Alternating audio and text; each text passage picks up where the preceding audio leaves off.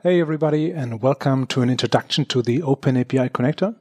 So in this video we will cover what the OpenAPI connector is, how it works, how and when to use it, and finally we'll also show a demo showing the connector in action. First of all, the OpenAPI connector is available in the Workato community library. So if you haven't done it already, navigate to the Workato community library and then go to the custom connectors section. Here you will find the OpenAPI connector and then click on the install connector button at the top right corner. Once installed, it can be used just like any other connector. Like in this example Workato recipe. Here the OpenAPI connector is used in the Actions section. And here's an example of using the OpenAPI connector as a trigger. What's special about this is that it's a universal connector. So let me explain. So when you want to build a Workato recipe, so that's the cookbook icon on the left, and as part of that recipe, you want to connect to an application, say Salesforce. Then what you need is a Salesforce connector. Same when you want to connect to Jira Cloud. What you need is a Jira connector. Same for Power BI, SAP, etc. I think you get the idea. And that's how it works for most of the connectors in our library. They have been built for one specific application. But that's not true for universal connectors. They have been built to allow users to connect to multiple different applications. So in theory, that could be a CRM, a database, an ERP system, etc., etc. The most popular universal connector in our library is the HTTP connector. It can be used to connect to almost any cloud application. However, it does require some technical skills and knowledge about the application API. And that is where the Open API connector comes into play. It's like a next-gen universal connector. So let's first have a look at what OpenAPI is. So at a very high level, OpenAPI is a machine-readable specification that you can use to describe the API endpoints of an application. This is how an OpenAPI document looks like. By the way, these are also called Swagger files. This particular one, as you can see, comes in JSON format. By the way, YAML format is also very popular. It is not actually meant for humans to read and understand, but if you carefully have a look, you can see this one describes the API endpoints of a pet store application.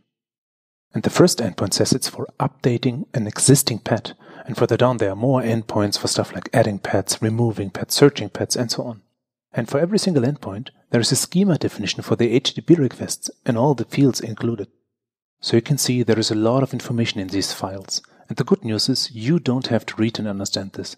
This is exactly what the OpenAPI connector is for. Alright, so how does it work?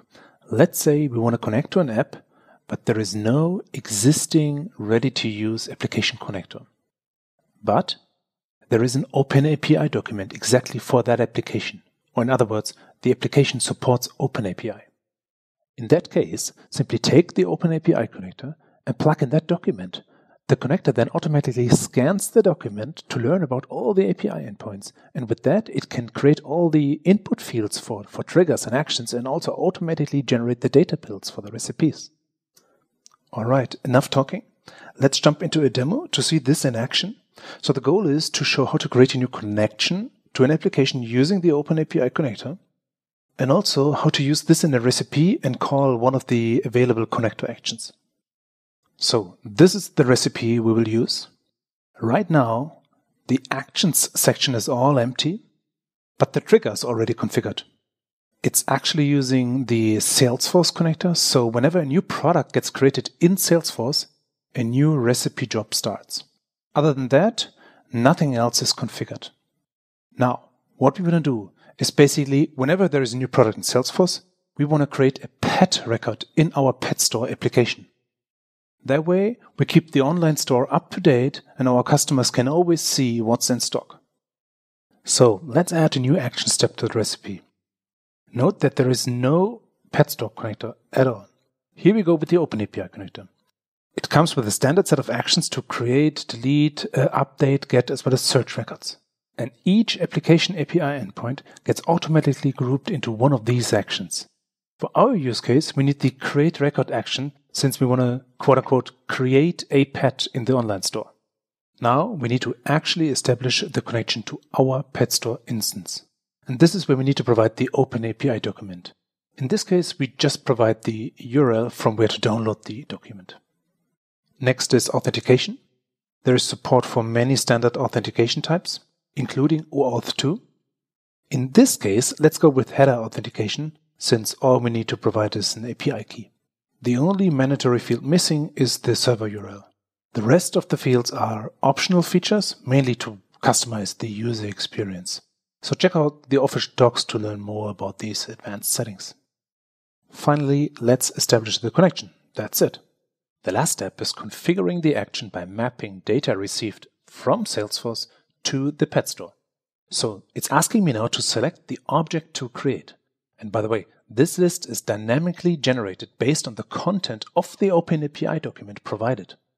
So let's select pet, since we want to create a new pet for every new product we get from Salesforce. Now we get all the pet specific input fields with the correct labels, data types, hints, etc. Same for the output fields. The output fields even include the example values.